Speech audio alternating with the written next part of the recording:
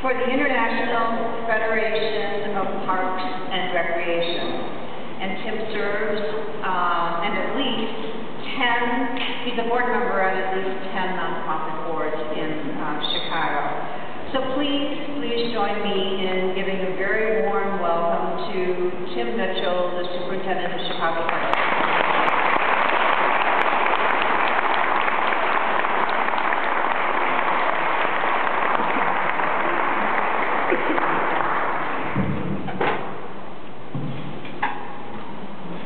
Good afternoon.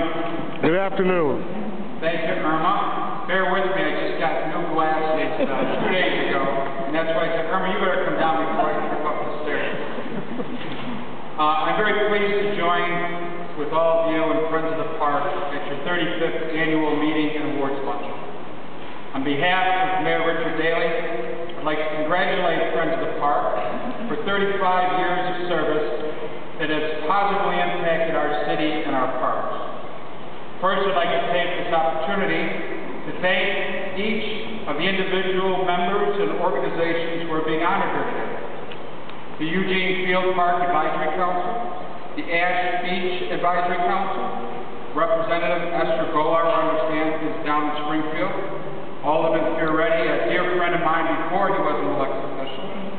Matt Haas, Motorola Corporation, and all of us know how important it is that corporations give back to the community, and we want to, uh, congratulate Motorola. And uh, Englewood Greening Coalition, I want to congratulate all of the awardees, and I want to thank Friends of the Park for recognizing people who give back to the community.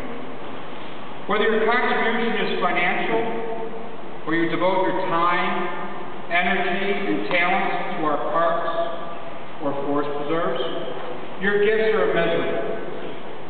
Having the great privilege of being the Chief Executive Officer of one of the largest, most interactive park districts in the nation, I enjoy the opportunity to meet and work with countless people who realize the importance of our city parks and how their presence can improve the quality of life for all of us. They also understand that in order to move our parks forward, we must work together. The involvement of neighbors, advisory council members, elected officials, corporations, and community stakeholders has been key to the success of our parks and park projects. Developing these relationships, or being connected, as we like to call it, is the basis of the Chicago Park District's operation. In fact, we have long recognized the importance of partnership and have been able to do more with less by leveraging funds. By joining forces, pulling together our ideas, and combining our resources, we accomplish much more than we can separately. Friends of the Park shares that belief and has consistently advocated for the preservation of Chicago's parks and forest preserves since 1975. They are always present to weigh in on matters that impact our facilities and the programs that we offer. While, and while we might not we do share a commitment to Chicago's parks and a mission to see that they are managed at the highest degree possible. I'd like to take the opportunity to thank Irma Tranter and her staff, who we were all introduced to just a moment ago, for their hard work on behalf of Chicago Parks, and I'd like to.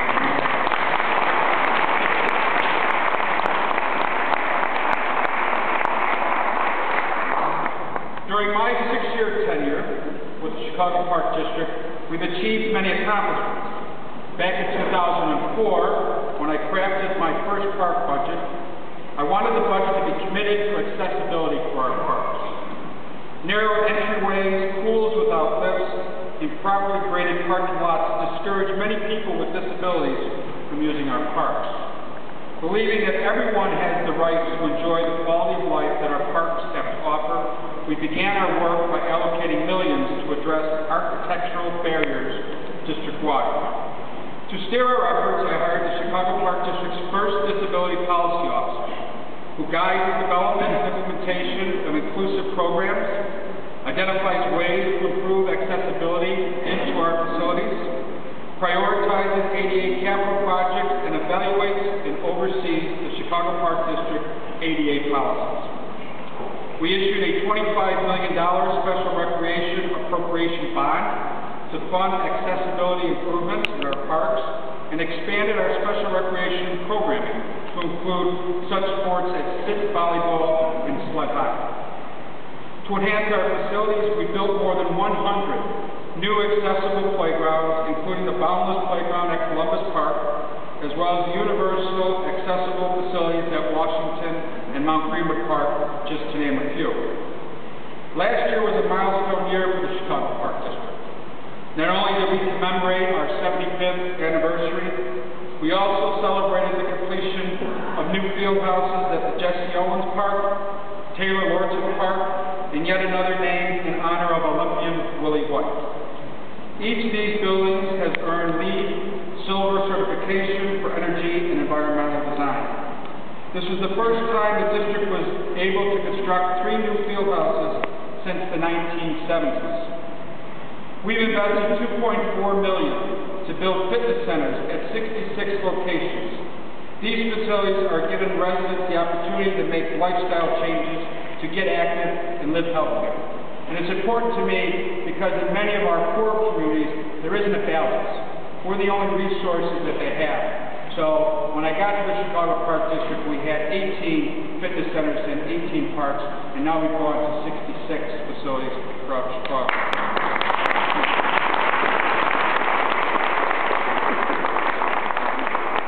As environmental stewards, the Chicago Park District successfully spearheaded a campaign to combat BP Amoco's plans to release refined toxics into Lake Michigan. We even traveled to Indiana to present the state legislature and the governor with petitions signed by more than 150,000 people that we gathered along our beaches. Combined with other organizations' efforts, BP Amoco altered their plans, so they keep trying to uh, get back in the game. Uh, but we will be vigilant along with Friends of the Park, along with other environmental agencies to make sure one of our most valuable resources, Lake Michigan, is protected. In 2007, we established an ordinance that strictly prohibits smoking at city beaches as well as Chicago Park District playgrounds and play lines, making our facilities a healthier environment for our patrons and our children. And I do want to recognize uh, the nominee of the Democratic Party for